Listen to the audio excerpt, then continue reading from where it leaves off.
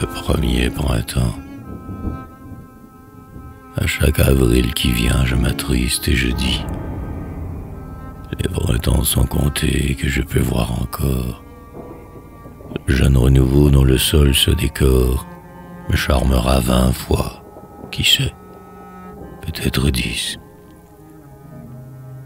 Puis un autre viendra, n'en doute point, mon âme, qui trouvera mes yeux fermés à son azur.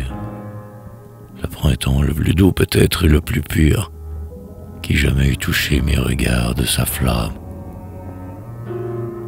Ah, ce premier printemps qui sourira si beau, avant que ma pensée teinte l'habitude de l'ombre, du silence et de la solitude, qu'il sera difficile à passer au tombeau. J'aurais cessé le rêve de la vie. Mais l'avril inconnu qui semera ses fleurs, sur ma tombe nouvelle et molle encore de pleurs, troublera mon repos d'une suprême envie.